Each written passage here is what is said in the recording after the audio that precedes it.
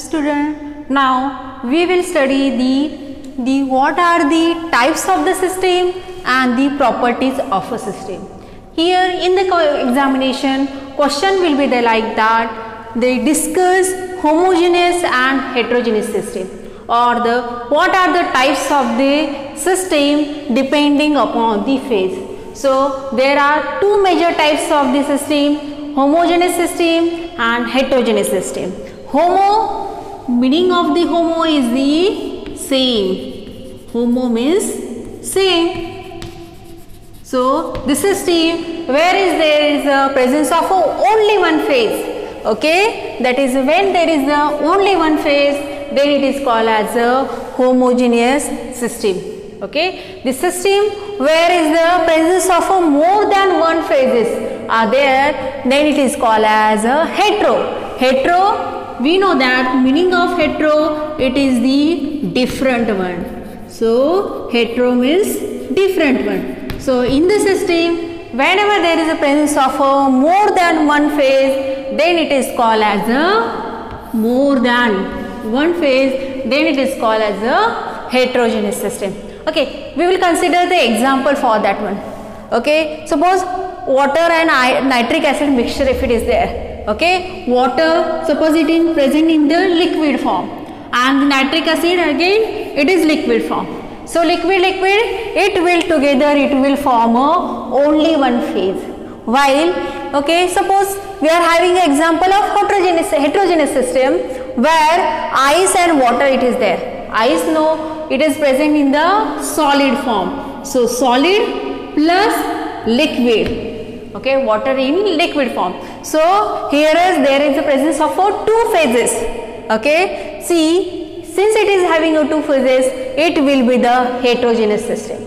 Okay? So in the system whenever there is only one phases phase is there solid solid or liquid liquid or gas gas if it is there then it is called as a homogeneous system.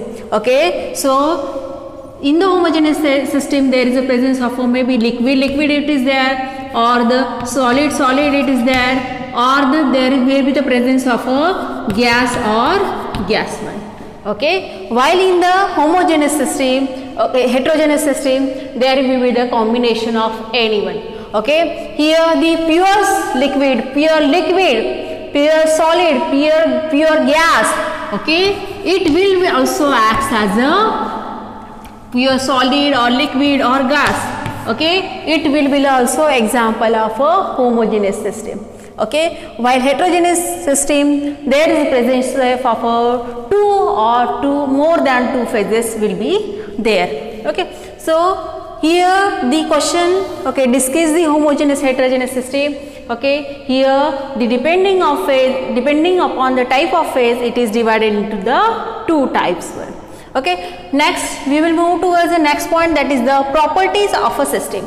Here the in the question examination question will be the like that define extensive property define intensive properties. Or write a short note on extensive property and the intensive property. It is very simple. Okay here remember whenever we are considering the extensive properties the properties whose magnitude is depend on the amount of substance then it is called as a extensive properties okay? And the properties whose magnitude is independent. Independent on amount of substance. Amount of substance then it is called as a intensive property. Now here it is very simple to remember what is mean by intensive property. See n intensive okay? It will be independent. So it is very too simple very uh, simple to remember. Intensive property is independent on amount of substance present in it okay so for the example for the extensive example uh, extensive property example we know that uh, volume. Volume or we can say length. Okay are the example where the magnitude is independent on the amount of substance. Okay here uh, depends on the magnitude of the substance.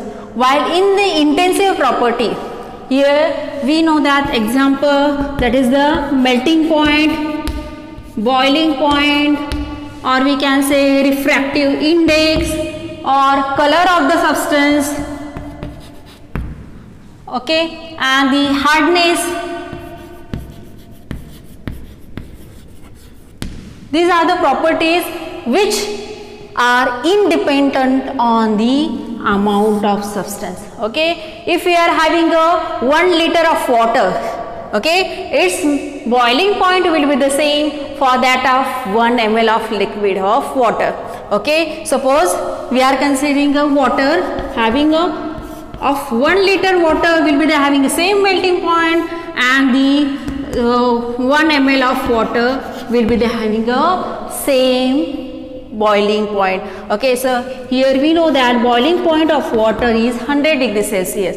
So 1 liter water will be having a 100 degrees celsius boiling point and the 1 ml also having a same boiling point. So it is very simple. Intensity prop intensive property is independent on the amount. Whether it may be 1 liter or the 1 ml the boiling point will remain same one okay? But whenever we consider the volume okay? If any compound which uh, any liquid it is having a some volume okay? Small amount will be the having a different volume and a large amount will be the having a different volume. Suppose we are considering 1 liter of water. So 1 liter of water will be having this much amount of uh, that volume okay? So 1 liter will be the having this amount of volume while 1 ml will be the having only this amount like that way. So volume is dependent on the amount of substance. Uh, again one, one more example mass.